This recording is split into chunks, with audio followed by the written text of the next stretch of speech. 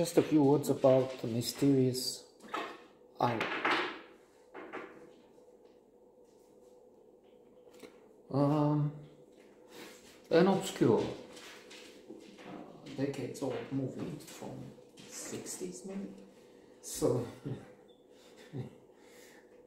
come to think of it, now that I laugh, um, there's um, there's probably some humor there. It's not meant as a comedy.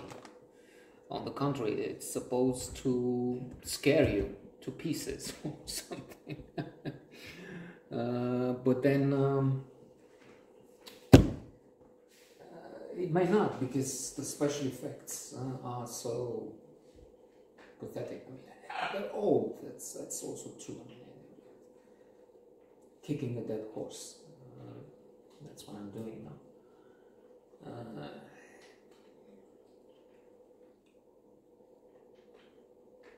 They didn't have the computer uh, technology. They didn't have the computer at all. Come to think of it. Uh, or well, maybe there was something that uh, it's the days uh, when they had a couple of computers, you know, as big as that house there, and they could produce. Uh, uh, all they could take out is what um, the iPhone has. Um, I don't know, in, in, in a little corner of, of, of it. So, uh, as you know, the computer power uh, raised exponentially.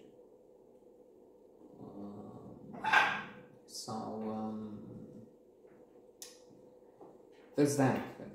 Which is island, they have those giant crabs. Tacky. Uh, and there clearly some uh, contraptions that uh, may have been the best there, but it, it looks silly, or it did to me, maybe I'm wrong.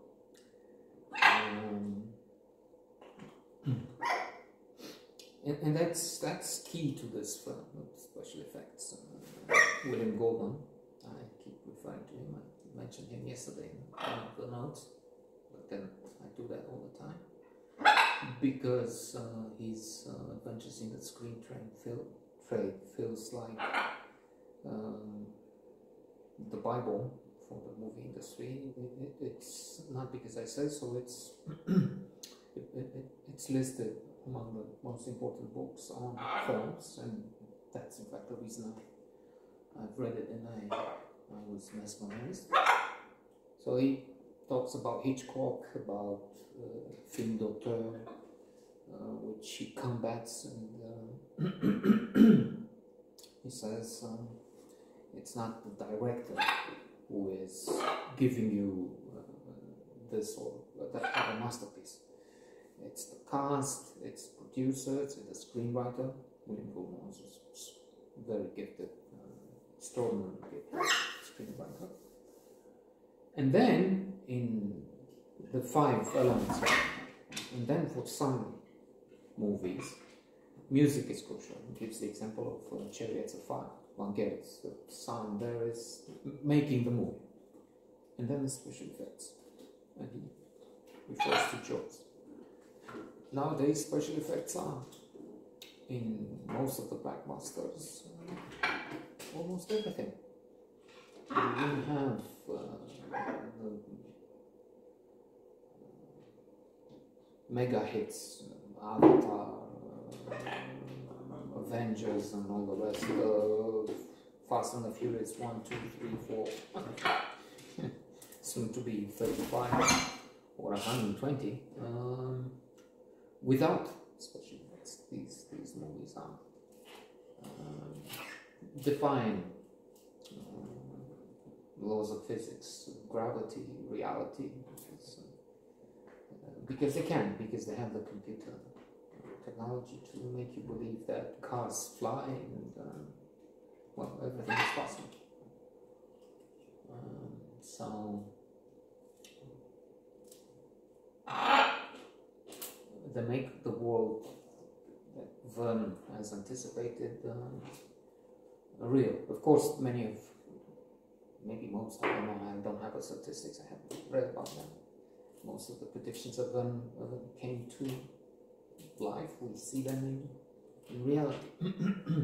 but there may be some which are not there yet, but you can believe them if you see them on screen uh, I'm thinking now of Journey to the Center of the Earth, which is something that is impossible. it will never happen. because you can. I'm a, a geophysicist by training, so geology tells you it's not. But if you use the special effects and you put it on film, well then, there you have it. Some people who believe uh, in the big steal, in Italian satellites uh, interfering in elections, uh, Jewish space lasers and whatnot, uh, in, in, in medicine for COVID, which is given to horses, they will believe anything.